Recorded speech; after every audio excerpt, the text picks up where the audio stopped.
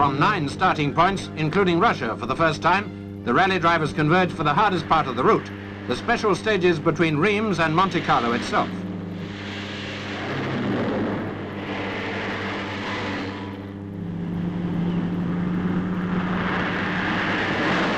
Winner last year and the year before was, of course, Erik Carlsson. This time he was to come in third, while his wife, Pat Moss, driving with Ursula Wirth, was to win the Ladies' Cup for the fourth time.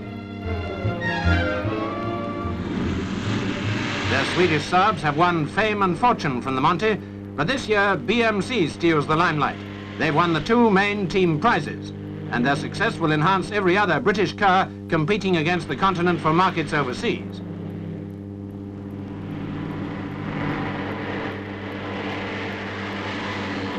Snow, snow, quick, quick snow.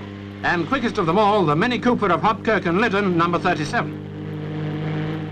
They beat the much fancied American Ford Falcons, Ljungfeldt's car finishing second.